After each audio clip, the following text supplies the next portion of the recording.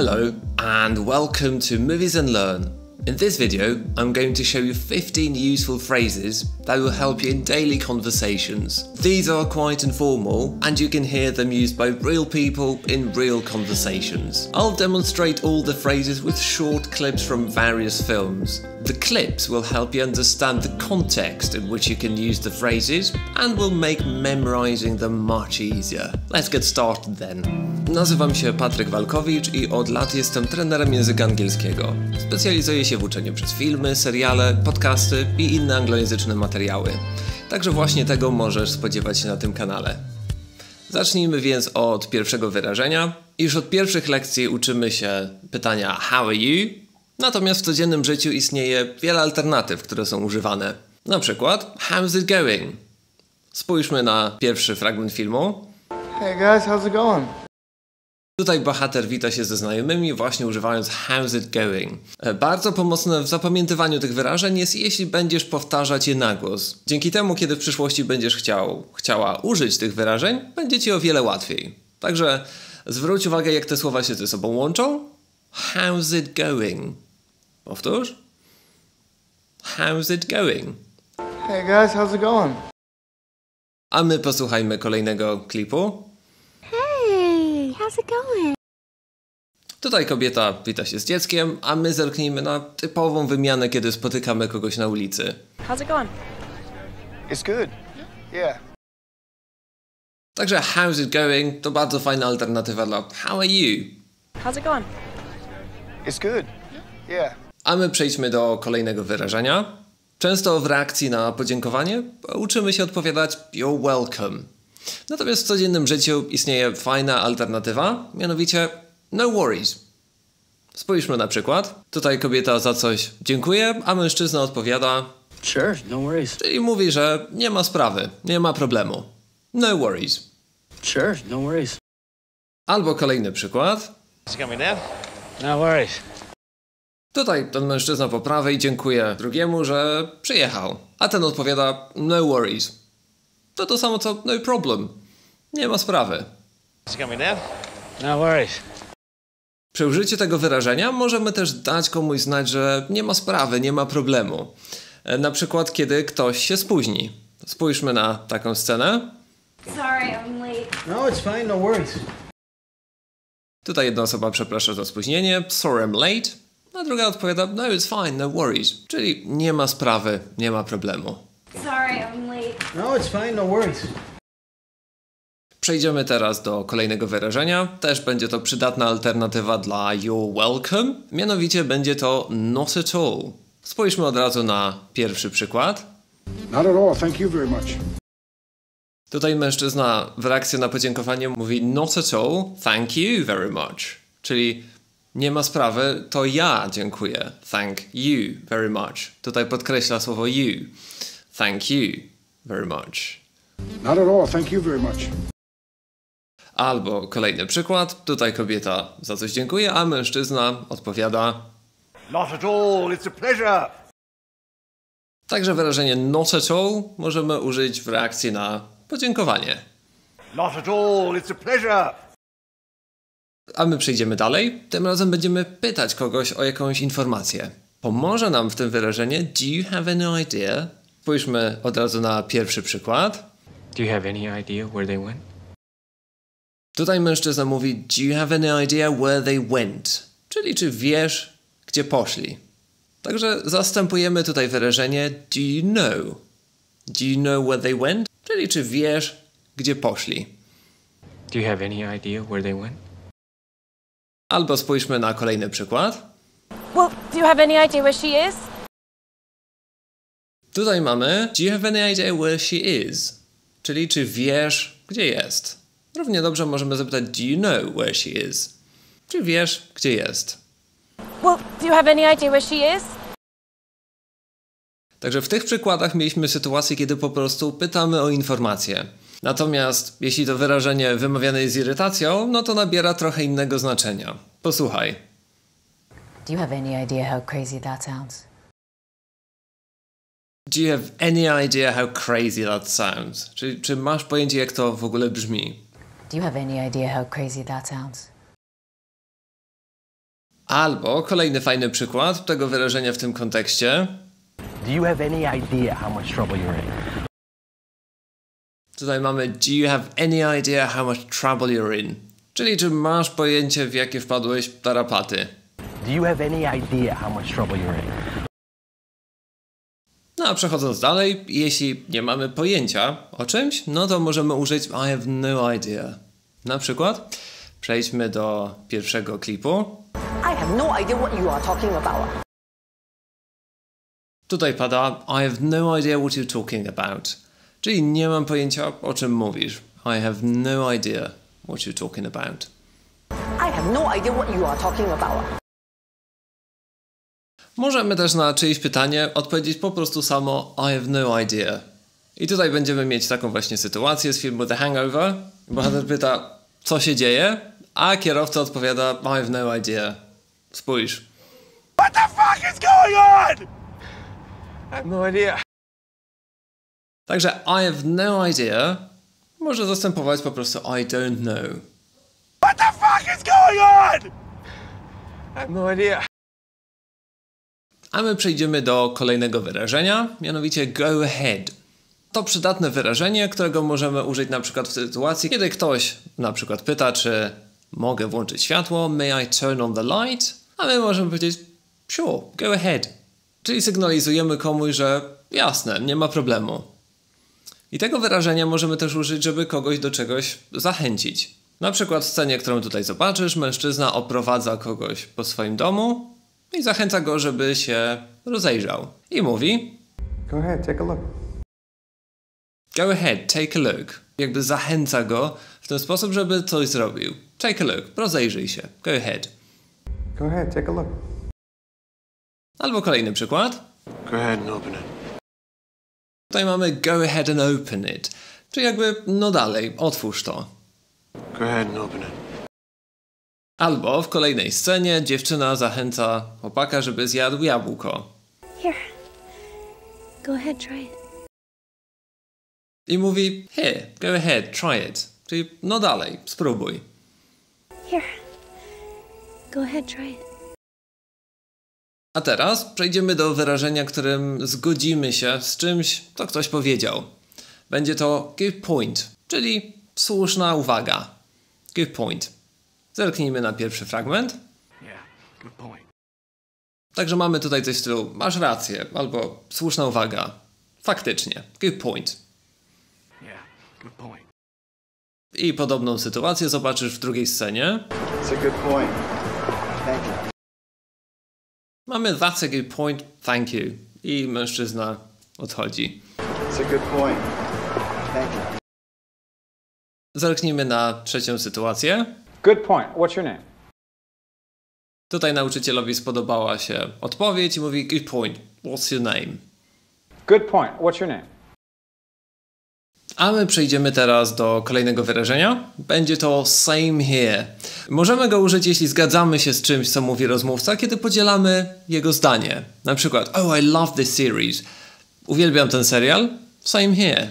Czyli ja też. I tutaj zgadzam się z rozmówcą. Spójrzmy na przykład. Yeah, same here. Tutaj mężczyzna po prostu zgadza się z czymś, co padło przed chwilą. Yeah, same here. Albo kolejny przykład. I tutaj też dziewczyna wyraźnie zgadza się z tym, co właśnie zostało powiedziane.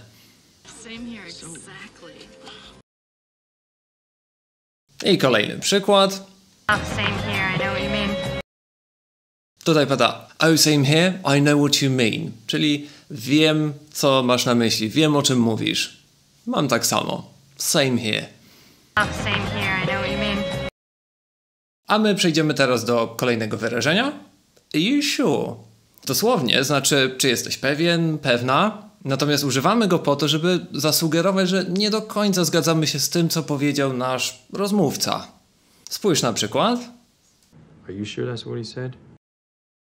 Tutaj bohater pyta, Are you sure that's what he said? I zwróć uwagę, że sam jego ton sugeruje, że on nie uważa, że to może być prawdziwe. Are you sure that's what he said? Spójrzmy na kolejny przykład tego wyrażenia. Tutaj będzie scena z filmu Szósty Zmysł. I don't see anything. Are you sure they're there? Chłopiec opowiada o tym, że widzi jakieś zjawy, jakieś nadprzyrodzone rzeczy, a mężczyzna pyta Are you sure they're there? Czyli dosłownie, czy jesteś pewien, że one tam są? Sugerując mu, że on ich nie widzi, że nie uważa, że to jest prawdą. Przy tej okazji zwróć uwagę na wymowę tych dwóch ostatnich elementów. Na końcu mamy słowo there, czyli tam, a zaraz przed nim mamy skrócone they are, które czytamy there. Czytamy dokładnie tak samo. Czyli mamy Are you sure they're there? Czyli dokładnie tak samo wymówione elementy. Posłuchaj jeszcze raz there? Spójrzmy na jeszcze jeden przykład tego wyrażenia. Are you sure you're ready for that, Andre? Tutaj kobieta pyta Are you sure you're ready for that? Czyli dosłownie czy aby na pewno jesteś na to gotowy? Jednocześnie sugerując, że być może ona nie uważa, żeby był gotowy. Are you sure you're ready for that, Andre? A my tymczasem przejdziemy do kolejnego wyrażenia. It's up to you. Możemy tego wyrażenia użyć w momencie, kiedy ktoś pyta nas, co chcemy zrobić, a my nie do końca mamy konkretne preferencje i chcemy, żeby ta osoba podjęła decyzję. Spójrz na ten przykład. Which way? It's up to you. Tutaj pada pytanie which way, czyli w którą stronę jedziemy, a odpowiedź it's up to you, czyli ty wybierz. Which way? It's up to you. Tutaj bohaterowie stanęli przed jakimś wyborem, natomiast wyrażenia możesz użyć w bardziej codziennych sytuacjach, na przykład ktoś pyta tea or coffee. No jeśli ty nie masz w tym momencie żadnych konkretnych preferencji, możesz powiedzieć it's up to you. Spójrzmy jeszcze jak to wyrażenie pada w dwóch innych filmach. It's up to you. Tutaj pewnie sprawa jest trochę bardziej poważna, ale wyraźnie widać, że bohater po prostu pozostawia decyzję tej grupie ludzi, do których mówi. It's up to you. I jeszcze ostatni przykład. It's up to you. A my przejdziemy do kolejnego wyrażenia. I think I'll pass. I tutaj znowu możemy użyć go w sytuacji, kiedy ktoś nam coś proponuje, a my chcemy po prostu e, podziękować. To coś w stylu nie dziękuję. Możesz śmiało używać go w nieformalnych sytuacjach, na przykład rozmawiając ze znajomymi. Natomiast w bardziej formalnych sytuacjach, na przykład rozmawiając z przełożonym, raczej nie polecam go używać. Spójrzmy na przykład. I think I'll pass.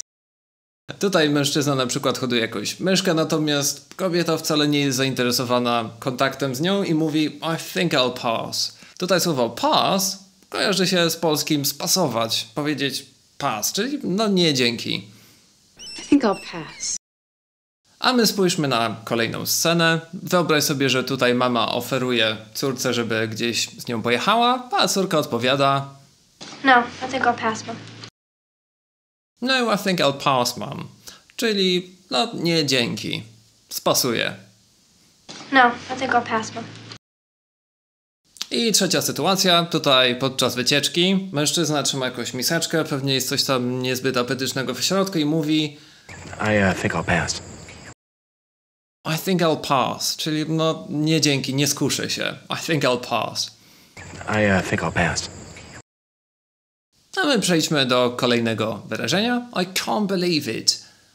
Możemy go użyć w momencie, kiedy coś wydaje się nam nie do uwierzenia, coś nas szokuje, być może coś nas zirytowało, zdenerwowało. Spójrzmy od razu na pierwszy przykład. I can't believe it. Tutaj kobietę wyraźnie coś zszokowało, mówi I can't believe it. Czyli to nie do wiary, nie mogę uwierzyć. I can't believe it. Spójrzmy od razu na kolejną sytuację. I can't believe it. After all this time, you don't even trust me? Tutaj chłopak mówi I can't believe it. After all this time you don't even trust me? Nie do wiary. I can't believe it.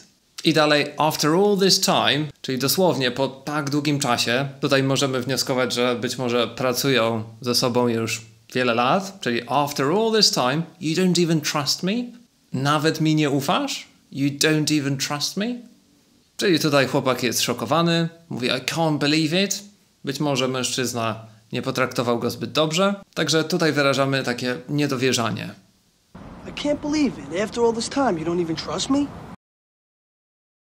Spójrzmy jeszcze na jeden przykład. I can't believe it. Tutaj bohaterowie wyraźnie zszokowani i jeden mówi I can't believe it. Czyli to nie do wiary. I can't believe it. I can't believe it. Przejdźmy do kolejnego wyrażenia. Przyda się nam ono, kiedy będziemy się chcieli podzielić jakąś informacją. Jest to wyrażenie as far as I know.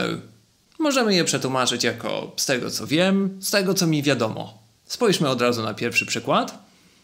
As far as I know, the lake house has been empty for several years. Tutaj mężczyzna mówi as far as I know, z tego co mi wiadomo, the lake house has been empty for several years. Czyli ten dom nad jeziorem stoi pusty od wielu lat. Z tego co wiem, z tego co mi wiadomo. As far as I know. As far as I know, the lake house has been empty for several years. Spójrzmy na kolejny przykład. He's still asleep, as far as I know. Tutaj policjant mówi He's still asleep as far as I know. Z tego co wiem, wciąż śpi. W poprzednim przykładzie zaczynaliśmy zdanie od as far as I know i bardzo często właśnie spotkasz to wyrażenie na początku zdania, ale tutaj policjant dodaje na koniec i mówi He's still asleep as far as I know. He's still asleep, as far as I know. Przejdźmy do trzeciego przykładu. As far as I know, they're still there. Tutaj pada As far as I know, they're still there. Czyli z tego co wiem, oni wciąż tam są. As far as I know, they're still there. I tutaj znowu spotykamy się ze słowem there, czyli tam, i słowem there, czyli skrócone they are. I dla przypomnienia, obydwa wymawiamy tak samo. They're still there. As far as I know, they're still there. Przejdźmy do kolejnego wyrażenia. I'm sorry to hear that. Możemy go użyć, jeśli ktoś podzieli się z nami jakąś niezbyt dobrą informacją. Coś przykrego spotkało tą osobę. Dosłownie możemy przetłumaczyć jako przykro mi to słyszeć, albo po prostu przykro mi. Spójrzmy na pierwszy przykład. Tutaj kobieta opowiedziała jakąś historię, coś co się u niej wydarzyło, a mężczyzna mówi I'm sorry to hear that. Sorry to hear that. I w kolejnym filmie chłopak dzieli się czymś przykrym, co spotkało go w dzieciństwie, na co kobieta mówi Yeah, I'm sorry to hear that. You were young. Czyli mamy tutaj znowu I'm sorry to hear that. Zerknijmy jeszcze na jeden przykład. I'm sorry to hear that. Tutaj znowu pada I'm sorry to hear that. Rozmawiają dwie kobiety i jedna ewidentnie opowiada o czymś nieprzyjemnym, co ją spotkało. I'm sorry to hear that. I przejdziemy do ostatniego zwrotu. W momencie, kiedy coś komuś podajemy, możemy powiedzieć There you go. Spójrzmy na przykład. Tutaj bohater dostaje jakiś bilet, no i kasjer wręczając go mówi There you go. Albo kolejna sytuacja na lotnisku. There you go. Thank you. Także znowu mamy There you go. W momencie, kiedy komuś coś wręczamy. There you go. Thank you. I spójrzmy jeszcze na trzeci przykład. Okay. Tutaj mężczyzna przekazuje coś w stylu gazety, mówi There you go. Okay. I na tym kończymy to nagranie. Jeśli podoba Ci się taka forma nauki, zostaw łapkę w górę. Możesz też subskrybować ten kanał, jeśli chcesz zobaczyć więcej takich filmów. A my widzimy się następnym razem.